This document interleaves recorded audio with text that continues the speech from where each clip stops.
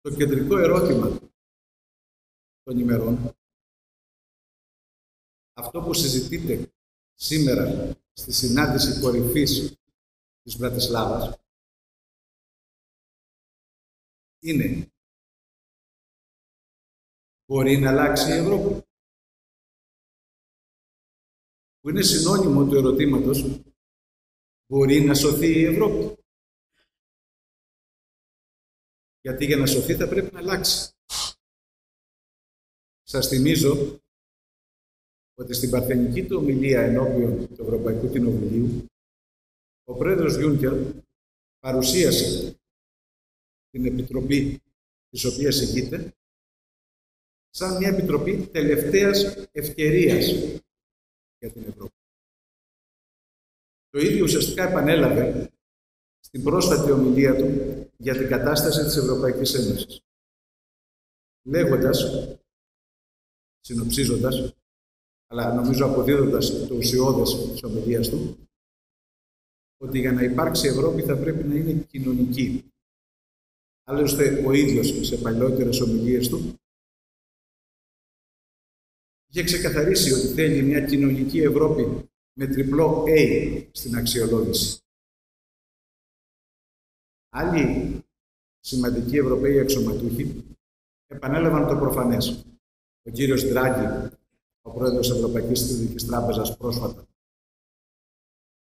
ότι υπάρχουν, είπε ότι υπάρχουν μεγάλα τμήματα της ευρωπαϊκής κοινωνίας που αφήνονται πίσω όταν ο αποκλειστικός σκοπός της ανάπτυξης είναι το κυνήγι του κέρδους για λίγους προσθέτω εγώ ο πρόεδρος του Συμβουλίου, ο κύριος Τούσκ, είπε ότι αν δεν λυθούν μέτρα θα βρεθούμε μπροστά όχι σε περισσότερη ή λιγότερη Ευρώπη, μπροστά σε καθόλου Ευρώπη. Γι' αυτό το λόγο, το σημερινό συνέδριο δεν είναι σημαντικό μόνο για την Ελλάδα. Είναι και για μας.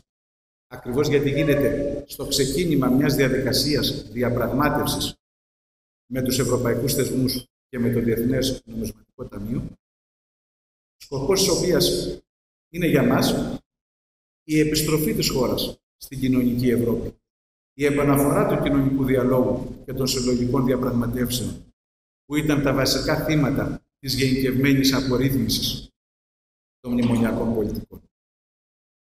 Όμως, τα μνημόνια στις χώρες του Νότου δεν ήταν τίποτα παραπάνω παρά μια συνταγή συμπυκνωμένου νεοφιλελευθερισμού που εφαρμόστηκε σε κενό δημοκρατίας.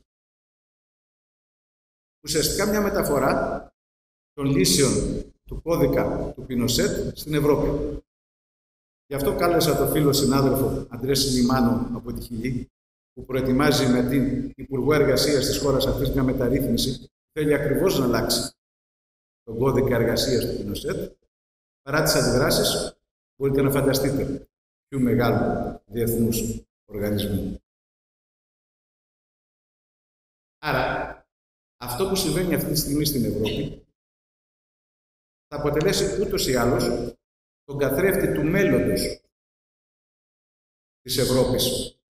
Αυτό που γίνεται στην Ελλάδα θα καθορίσει τι θα θεωρείται καλή ευρωπαϊκή πρακτική αύριο στην Ρώμη, στο Παρίσι, στο Βερολίνο. Και δεν πρόκειται για ένα θέμα που διακρίνει, που διαχωρίζει το βορρά και το νότο.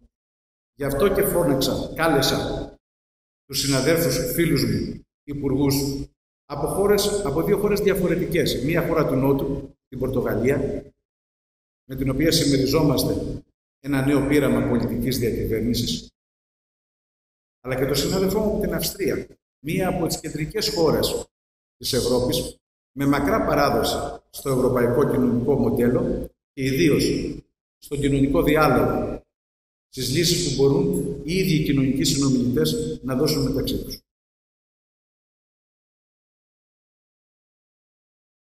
Η διαπραγμάτευση ξεκίνησε.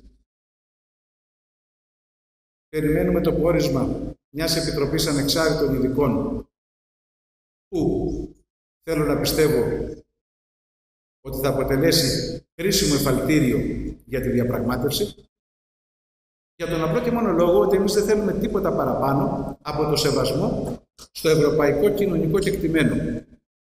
Γι' αυτό το λόγο η κυβέρνησή μας κύρωσε, πρόθεσε προς κύρωση στη Βουλή τον Ιανουάριο τον αναθεωρημένο Ευρωπαϊκό Κοινωνικό Χάρτη. Γιατί θεωρούμε ότι ο προσανατολισμός της πολιτικής μας πρέπει να είναι αυτός που σέβεται τις αξίες και τις αρχές του Ευρωπαϊκού Κοινωνικού Μοντέλου. Όπως έχει διαμορφωθεί στα εθνικά κράτη, όπως έχει διαμορφωθεί από την ομολογία της Επιτροπής των Κοινωνικών Δικαιωμάτων. Στις διαδικασίες διαπραγμάτευσης επιμείναμε να έχει καθοριστικό ρόλο η Διεθνής Οργάνωση Εργασίας, η οποία πολλαπλά έχει βοηθήσει τη χώρα μας και στη μεταρρύθμιση των συντάξεων και σε άλλες μεταρρυθμιστικές προσπάθειες, τις οποίες προωθούμε. Γιατί εμείς είμαστε υπέρ των μεταρρυθμίσεων. Θέλουμε να αλλάξει το παλαιό πολιτικό σύστημα της Ελλάδας, που ουσιαστικά δεν εξυπηρετούσε παρά μόνο τις λίγες αυτές δυνάμεις που διαπλέκαν τα οικονομικά, τα πολιτικά συμφέροντά τους στην κορυφή. Αυτές τις μεταρρυθμίσεις θέλουμε. Και για αυτόν τον λόγο το συνέδριό μας στη δεύτερη του μέρα είναι αφιερωμένο στον διάλογο που ξεκινάει η Διεθνή Οργάνωσης Εργασίας για το μέλλον της εργασίας γενικά στον κόσμο. Είμαι πολύ χαρούμενος που έχουμε εδώ τα στελέχη της Διεθνούς Οργάνωσης Εργασίας που θα αποτελέσουν βασικό, ε, βασικούς ομιλητές στο συνέδριό μας. Δεν θέλω να επεκταθώ περισσότερο, γιατί ο λόγος για τον οποίο προσθηθήκατε εδώ είναι για να ακούσετε ένα προβληματισμό από την ίδια την ευρωπαϊκή κοινωνία. Από την ηγεσία των, ευρωπαϊκών, των ευρωπαϊκών συνδικάτων και των άλλων εκπροσώπων των κοινωνικών εταίρων. Από τους εκπροσώπους των εθνικών συνδικάτων που δίνουν ακόμα και σήμερα αυτή τη μάχη εναντίον της οικονομικής ορθοδοξίας του πάλι ποτέ προελάβοντος νεοφιλελευθερισμού. Είναι προφανές ότι οι συνταγές του ελευθερισμού έχουν καταρρεύσει. Είναι αυτές που οδήγησαν στην έκρηξη των κοινωνικών ανισοτήτων, στη διάβρωση της μεσαίας τάξης, στην υπονόμευση του κράτους πρόνοιας, στην υπονόμευση των κοινωνικών και των εργασιακών δικαιωμάτων. Είμαστε εδώ για να πούμε ότι δεν θέλουμε μια Ευρώπη που θα γυρίσει πίσω σε ένα τύπο καπιταλισμού Dickens του 19ου αιώνα. Είμαστε εδώ για να εκφράσουμε τον κόσμο της εργασίας που θέλει να δώσει τη δική του απάντηση στα καθοριστικά διλήμματα της Ευρώπης. Σε τελική ανάλυση είμαστε εδώ για να μπορέσουμε να βοηθήσουμε την Ευρώπη να σώσει την ψυχή της. Γιατί η ψυχή της Ευρώπης είναι το ευρωπαϊκό κοινωνικό μοντέλο.